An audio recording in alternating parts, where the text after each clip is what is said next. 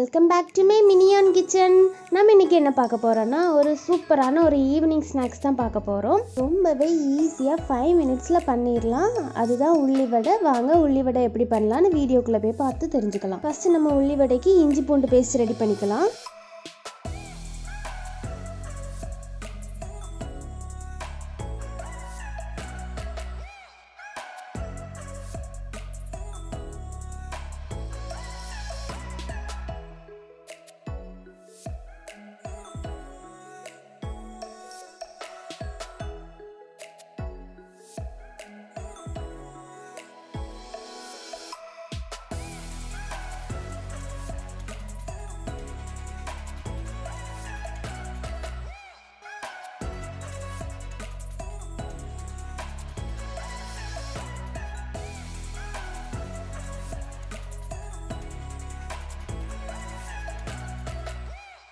இப்போ நம்மளோட இஞ்சி பூண்டு பேஸ்ட் ரெடி ஆயிடுச்சு. இப்போ நம்ம கட் பண்ணி வச்சுருந்த வெங்காயத்து கூட சேர்த்துக்கலாம். வெங்காயம் ரொம்ப குட்டியாலாம் கட் பண்ணிடாதுங்க.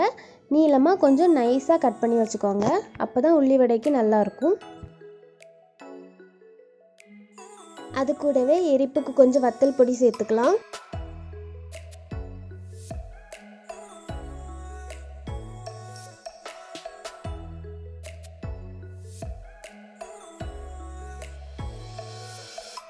தேவைக்கேற்ப உப்பு கொஞ்சம் சேர்த்துக்கலாம். உப்பு சேர்க்கக்கூடிய நேரம் வெங்காயத்தில் உள்ள தண்ணியெல்லாம் இலக ஆரம்பிக்கும். அதனால நம்ம ஸ்டார்டிங்லேயே நம்ம தண்ணி சேர்க்கக்கூடாது. நம்ம ஃபஸ்ட்டே கட் பண்ணி வச்சுருந்தா கொஞ்சம் கொத்தமல்லி இலை சேர்த்துக்கலாம். பொடிசாக கட் பண்ணி வச்சுருந்தா பச்சை மிளகாய் கொஞ்சம் கருவேப்பிலை சேர்த்துக்கலாம். இப்போ நம்ம எல்லாத்தையும் கை வச்சு வரசி விட்டுக்கலாம். பாருங்கள் நம்ம எல்லாத்தையும் நம்ம மிக்ஸ் பண்ணிட்டோம். மிக்ஸ் பண்ண அப்புறம் தான் மாவு சேர்க்கணும். இப்போ நம்ம கொஞ்சம் கடலை மாவு சேர்த்துக்கலாம்.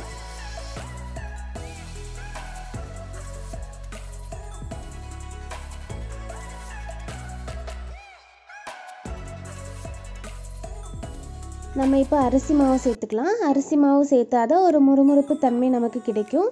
நம்ம கடலை மாவு மூணு ஸ்பூன் போட்டால் இதில் ரெண்டு ஸ்பூன் போட்டே ஆகணும்.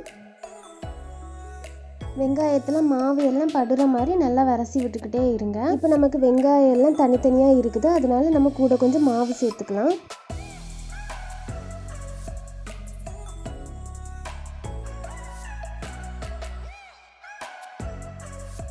நல்லா வரசி விட்டுக்கிட்டே இருங்க. நமக்கு இப்போ மாவு நல்லா கெட்டியாக இருக்கிறனால கொஞ்சமாக நம்ம தண்ணி சேர்த்துக்கலாம். ரொம்பவே சேர்த்துறாதுங்க. இல்லாட்டி மாவு ரொம்பவே தண்ணி ஆகிடும் நமக்கு உள்ளி விட போடோடினர் ஒழுங்காக வராது. அதனால் கொஞ்சமாக சேர்த்தா போதும்.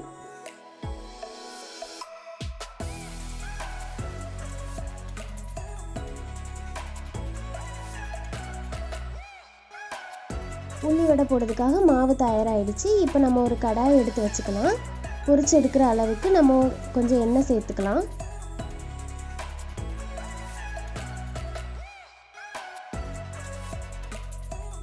எண்ணெய் நல்லா சூடாயிடுச்சு. இப்போ நம்ம ரெடி பண்ணி வச்சுருந்த மாவில் இருந்து குட்டி குட்டி ரவுண்டாக நம்ம போட்டு எடுத்துக்கலாம்.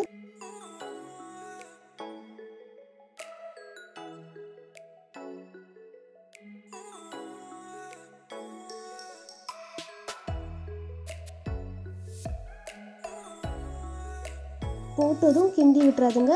இல்லாட்டி மாவெல்லாம் பிரிஞ்சு பிரிஞ்சு வந்துடும் இப்போ நம்மளுக்கு ஒரு சைடு வந்துடுச்சு. இப்போ நம்ம மாற்றி போட்டுக்கலாம்.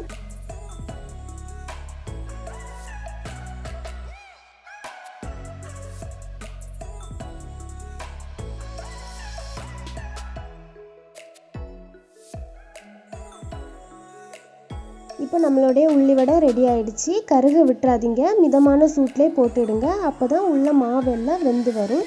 இதே மாதிரி நீங்களும் வீட்டில் ட்ரை பண்ணி பாருங்கள் ஈவினிங் ஸ்நாக்ஸுக்கு ரொம்பவே பொருத்தமான ஒரு ரெசிபி தான் நம்ம உள்ளிவடை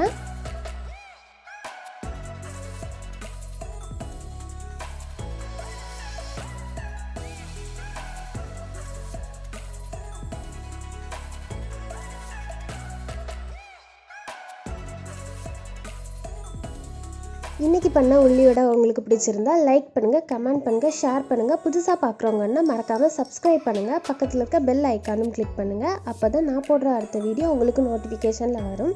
தேங்க்யூ